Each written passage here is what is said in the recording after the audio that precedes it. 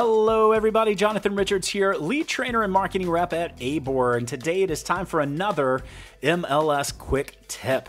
Today I'm going to be covering statuses. Why? Because it's incredibly important that you understand the definitions in order to use all the functionality within Matrix. So to do so today, I'm going to go into residential search, and here are all of my statuses. So let's go one by one and explain each. First off, we have the active status, which basically acts the same as it always has within the system.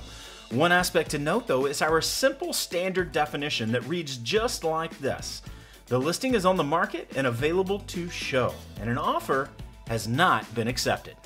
While the assumption will remain that this means the listing is also available to show, all buyer's agents should always check that showing requirements section on the listing to see when they'll be able to show the home. And always pay attention to those instructions as a professional courtesy to your peers. The next section down is our active under contract, or as we have abbreviated it, AU. And the definition here is this An offer has been accepted, but the listing is still on market. For lease listings, AU means that an application has been accepted, but other applications will be accepted until the lease has been signed. Now, we're sure you're going to have a lot of questions about this new status, so let's cover the basis. Active contingent, or AC, and pending taking backups, PB, are what you're used to seeing here. Neither AC or PB are established status standards in the industry. So instead, we've merged these two into the industry standard AU. The business rules of AU are going to mirror what PB has done for us in the past. So to give you an example, I'm going to come up here to Add Edit, and I'm going to select a listing that I already have inputted, and I'm going to come right down here to where it says Change to Active Under Contract. And when I change that status, it brings up this status change page. Pending date is required. Why? Because a contract has been signed. Active days on market and collective days on market will freeze, and AU listings will still display on IDX, VOW, and third party sites. You'll notice on the AU input form that the option date is optional, just as it always has been in pending backup status. You'll also notice is a new required field called property sale contingency, which must have a yes or no checked.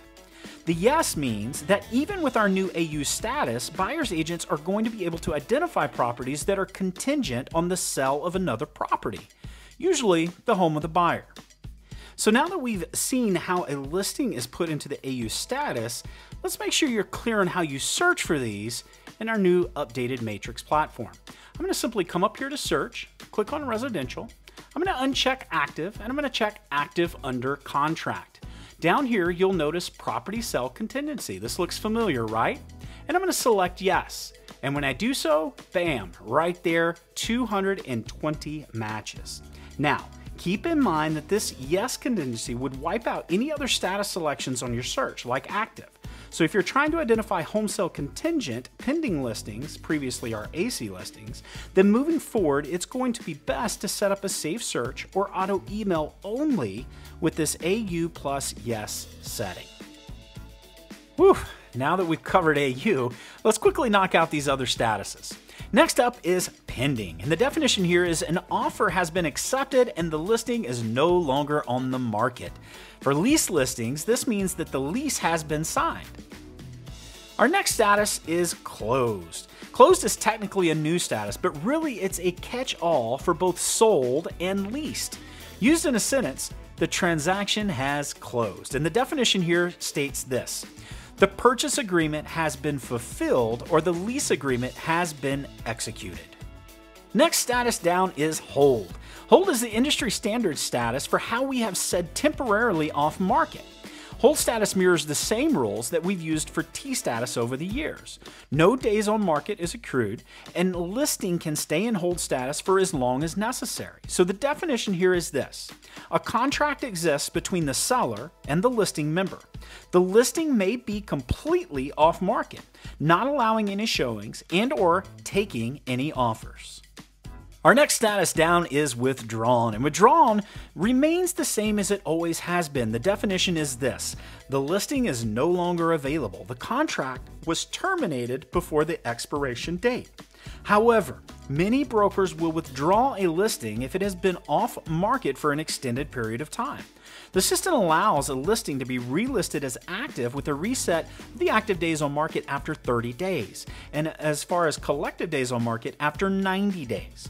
So even though the definition of the status technically means a contract was terminated, there could still be a relationship between the seller and the listing broker. Our last status here is expired, and expired is the same as it always has been. The definition is simple the listing contract has expired. Guys, it's incredibly important that you understand the definition of each one of these statuses. It will help you further be successful inside the Matrix platform.